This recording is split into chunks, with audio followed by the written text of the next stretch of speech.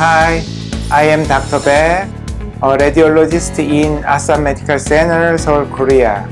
Today, I will introduce S-Detect for thyroid, a specialized thyroid CAD system to evaluate thyroid nodules. S-Detect is the world's first thyroid CAD system which was installed on Samsung ultrasound machine. It is easy to use and tells you the malignant risk of thyroid nodules by a simple button clicking.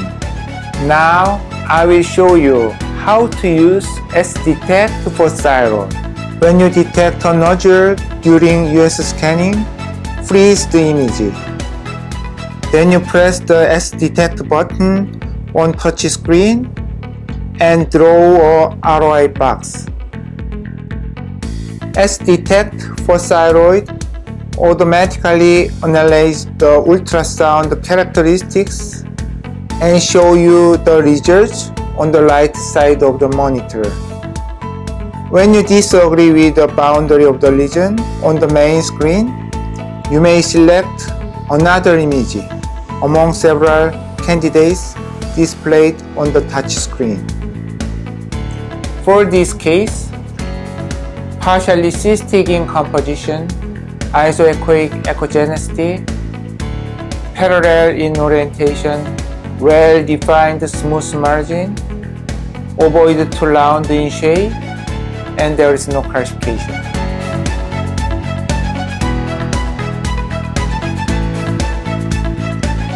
Then you check the location of the nodule in a body marker on the left side of the monitor. Finally, you press a sign button to report. Report comes out with showing the malignant risk of this thyroid nodule. I will show you another case. This nodule shows solid hypoechoic, parallel, ill-defined, ovoid to round shape with multiple microcalcifications. S-Detect for thyroid categorize this nodule as high suspicion. The report comes out with showing the malignant risk of this nodule. I introduced S-Detect for thyroid, a specialized thyroid CAD system. S-Detect can help you easily access malignant risk of thyroid nodules, automatically measures nodule size,